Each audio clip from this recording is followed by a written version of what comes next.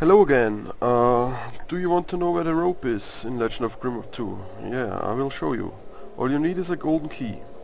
On this map, you go down the stairs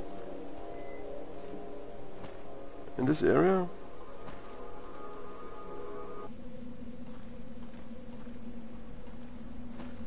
Then you need to go this way.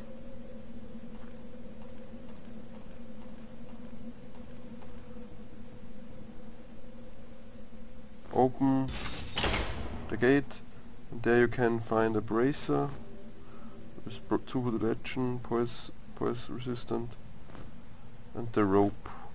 I don't know where to use the rope but uh, I think there is an opportunity to use it anyway in the game.